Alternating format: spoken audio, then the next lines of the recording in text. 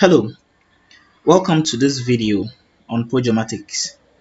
So um, in this video, I'm going to show you how you can filter out points and form the, and, and, and put them into um, a, a point group. Okay, so let me quickly show you what I mean. So I have these points here, okay, and on each line, it's, it's just a road, okay, so it's a road. This is the left part of the road, the center part of the road, and then the right part of the road. And so left, center, right. These are the um, points that we're taking for the road. Now I want to show you how you can push all lefts into one group, all centers into one group, and all rights into one group.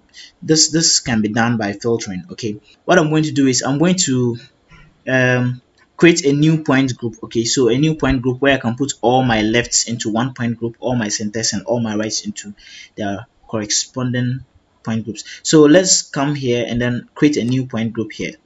All right then over here I'll call it um, left. Okay so left like this left.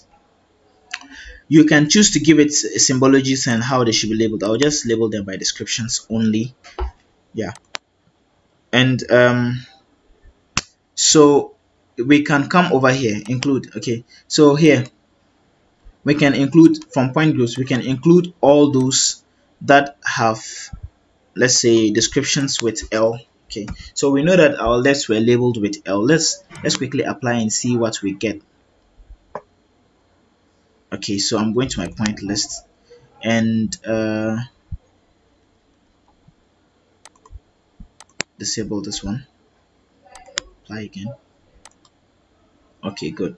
So I'm going to have all the L's being sieved into this new point group okay? So all you have to do is give it a point name. So by creating a point group give it a point name and then you can change the styles. Then um, you give it you give it a query. Okay so here in the include you give it a query here. There are other ways of giving query but in my case I'm using descriptions to query it out. So I'm asking it to select only those with um, else okay and then form a point group with it.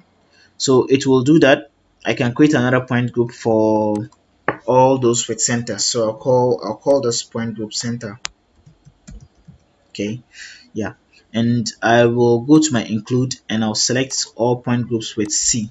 Now if you use C star what it means is you are anticipating um, that it will not just be C. Maybe it will be C dash 1 C dash 2 C dash 3 just in order to avoid duplicates. But if you use the star star will accommodate for any extra text after the C. So but mine is just C so I don't need I don't need the star. Okay so when I do that I can select again. Then finally I'll do for my rights. Okay over here. Right.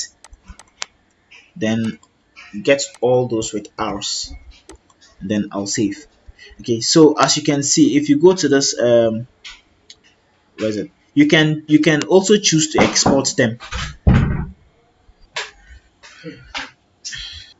so yeah you can choose to export them. Um, so if I right click on this one I can actually um, export points. Okay you can do that. Or you, you can edit them depending on what you want to do with them. Okay so if you go back to the properties and check the point list you realize that it will save all those with arrows. And then to form a point um, point group with all arrows. Okay so thank you for following this tutorial. If you like it leave a thumbs up and then if you have any questions you can leave them in the comment section. I'll get back to you soon. Bye